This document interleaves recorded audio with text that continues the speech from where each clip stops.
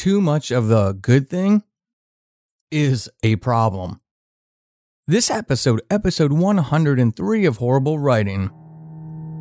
That will never work. You can't fuck with us. Seriously? Don't. Oh my god, that's other thing. That's bad. You probably should find other hobbies. You ever learn how to? Stop. Be happy. Well, you're don't. Don't bother. I've seen better papers. Do you really want to? It up.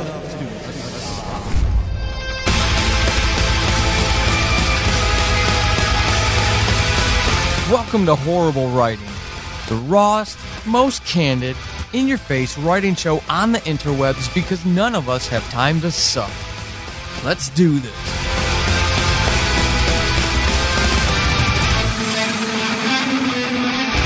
Hey everybody, Paul Sating, your host of Horrible Writing. I hope this finds you well. I hope you're also enjoying this new sound, if all comes out as it should. I had the fortune of talking to a few experts in the field, both of whom appear as experts in Novel Idea to Podcast, how to sell more books through podcasting, which you can pick up wherever you pick up your books, including in audio, by the way. But John McClain of Dog and Pony Studios and Steve Blizin of many audio projects, but who also owns his own recording studio, had a nice conversation with both of them about a new setup because my mic was dying and or my mixer. I'm not smart enough to know which one it was, but either way, I had some problems. So, this is the uh, first episode with a new mic. We'll go back to the old one in the next episode when I do my interview with author Lindsay Schopfer. But for now, we're going to time travel a little forward, then jump back in time. I have gone through my entire summer almost. And for you all, this episode won't come out until September, though the patrons will get it earlier as well. But summer's over, some big stuff happening. Not good stuff either in terms of professional, but good things in terms of personal slash writing passion. Rip is out there for the world a thriller suspense. If you're looking for something along those lines, serial killer type stuff, go pick up Rip. Paperback, ebook, and audiobook are out there now. I will even put the links in the show notes for you. So that's the good stuff. The other good stuff about writing is that I'm now done with the second book of a new upcoming contemporary fantasy that hopefully we'll see the light of day in early-ish 2020. Um, two books written, two novels written in two months, July and August. I Rick really buckled down with this idea and got those out, got those completed much more quickly than I anticipated. The first one flew off my fingers. The second one was a little bit more of a struggle, but that's because of some things going on, i.e., layoff slash unemployment. Not cool stuff, not fun. But it is something I'm going to address in an upcoming episode about how to get through that stuff. So, a little peaks and valleys at the end of the summer. But all in all, hey, I'm still above ground, so I'm st- you can't complain, right? You heard uh, the wonderful interview with Peter Arulian last episode, episode 102, about editing, editors and I'm really honored to have to have had him.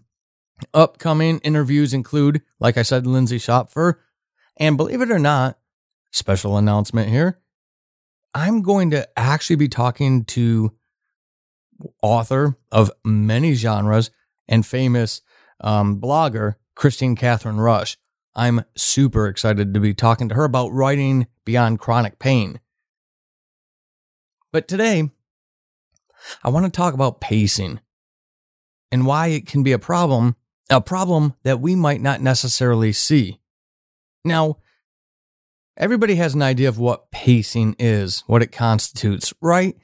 Everybody kind of knows what I'm talking about, but I want to look at a specific aspect of it because of a recent experience I had. those of you who have listened to the show for a long time, thank you. One. Two, thank you for staying around so long. but three, you'll know that I've been doing and consuming a lot of audiobooks lately. I wanted to do that because RIP was coming up and I was going to do an audiobook for that because I don't have an, a fiction audiobook out there yet. I'm so busy with all the things I'm trying to balance work life, resume writing, book writing, administering the Horrible Writing Writer Support Group on Facebook. If you're not there, why aren't you there yet? We're really awesome. All these other things that, that go on with launching a book, actually launching the book, figuring out ads, taking the courses that I paid a ton of money to take and still haven't made a dent in, producing the Stories We Tell podcast. I mean, just so many things. Squeezed in there was studying audiobooks. For the longest time, I'd rejected them. I read books. I enjoyed reading books. Why did I need to listen to audiobooks? Why did I need that expense? You all writers who and authors, especially those of us on the indie side, we have to be very careful about how much uh, we take on in terms of expenses. So I wasn't excited about adding any, but I needed to get serious about what the marketplace was doing. And I'm trying to listen to as many as I can, which has been great because they're all over the place. They really are. in terms of quality and, and, talent and production and all that stuff. But in August, you know, it, it, those of you who are Audible customers, you know this, you get your credits for each month. I decided I was going to try a fantasy book that had a lot of wonderful ratings on it. And I wanted to listen to more fantasy. I don't get enough time to read fantasy, especially the epic variety. Mm. I'm trying to read so many other things about the craft and the business side of writing that I didn't I don't have a lot of time to squeeze that in there. So I decided to do that through this audiobook. I read the reviews, everything sounded great. I'm not going to name the book, by the way. But I quit on that book by chapter six. And it's because of pacing. Now, typically, when we think about pacing, you think about those action scenes, the, the peaks and the valleys, the low scenes, making sure you don't have too many of them overall in the entire structure of the novel. But then you break it down, right? You, you start segmenting it to help you check whether or not your pacing is appropriate for the book, the story, the genre. Sometimes authors will get lost in the minutia. They'll look at pages of exposition and really focus in on the fact that hey, this really bogs down the story. Totally agree. Or those who have nothing but a, a, conversation going on for 20 pages. Might be too much, too intense. Slow things down, ratchet it down a bit, right? But I want to ask you to go even higher than that, to pull up above even those trees. And I want to use this book as an example. And again, I'm not going to give you the title of the book. I don't want to name and shame anybody. I'm sure, uh, well, I know this book is much more successful than any of mine, so who am I to talk? But from a reader's perspective, and as someone studying the craft and trying to see how to do it right, I can only go on my experience, and I know what that experience taught me. And that experience was uh, that this author has a pacing problem. He wore me out by chapter six of an epic fantasy that I really, really wanted to get into and enjoy. And here's the reason why. I'm asking you again to pull up to that big perspective. But I figured it'd be easiest to do it this way to, to tell you, to, to summarize each chapter in a single bullet. So, what happened in that chapter in a single bullet to help paint the picture of why this was a problem? First chapter a small war. Second chapter, a big war. Third chapter, a little war. Fourth chapter, fighting pits. Mano y mano, warrior against warrior. Fifth chapter, son terrorized, father stands up for him, fight happens, father's killed. And then to follow that up on the sixth with a training war. You can see what happens. Six straight chapters of fighting, different varieties, and maybe the author got lost in that. That there's a difference between a hunting slash scouting party fighting bandits in a forest versus a bunch of initiates going through their training and fighting, right? These are totally different. But au contraire, no, they're not. They're all basically the same thing. I like fighting. I love a good, especially medieval fight, swords and shields and blood and all. I love all that stuff. But I don't need it for six straight chapters. I don't need it for three. I was actually starting to get tired by chapter three, but I plugged on because it was an audiobook for three more chapters. By chapter six, I realized I wasn't even listening. The earbuds were in, there was sound entering my ear canal, but that's all that was happening. I wasn't even consuming the story. I wasn't enjoying it, but I wasn't even to the point where I was engaged. I was completely disengaged. It was simply background noise at that point. So I ask you, do you want your book that you've been working so hard on to become background noise for somebody? No, we all know the answer to that. You don't. So I challenge you go back through your book chapter by chapter, and I need you to get comfortable with taking a bigger picture perspective. In the military, we used to call it the 40,000 foot view. You get up 40,000 feet above the battle space to see what's going on so you can see the big picture.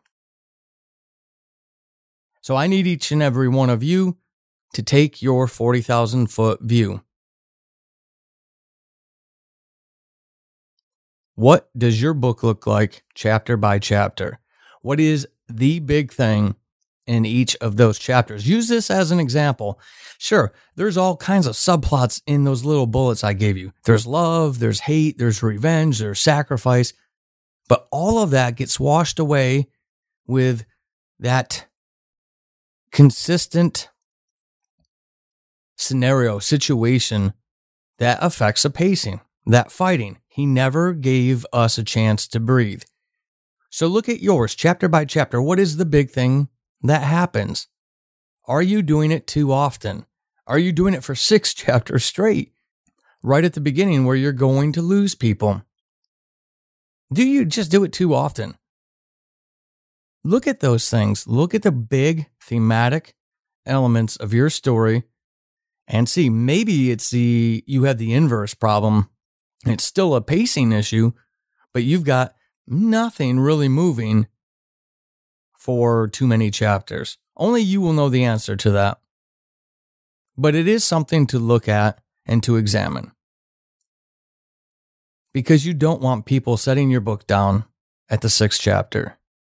You want them all the way through, engaged and enjoying, not suffering through it. Pacing is a key to that. I hope this helps each and every one of you take a different look and, and to keep something else in mind, as if we don't have enough to think about already, but to keep something else in mind as you're creating that next masterful piece that you're working on. If this has been helpful, leave a rating and review on your podcatcher. That would be greatly appreciated. Thank you to everybody who does do that. Additionally, if you want some bonus content, if you want exclusives, if you want insight into some of my stories that I only give to patrons. If you want special deals on books, things like that, go support the show. You can do that by going to paulsating.com, clicking on the support tab, to find out how you can do that. Two different ways to get that done. Make sure that you're subscribing to the stories we tell. Episode 7 is coming out this month at the end of the month. Another wonderful collection of amazing stories from diverse authors. So definitely check that out. And until episode 104 with author Lindsay Schopfer, keep being epic. This has been Horrible Writing, and hopefully, after this episode, you suck less than you did at the beginning.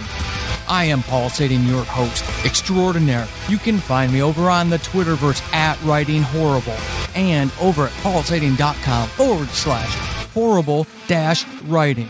Until next time, suck less.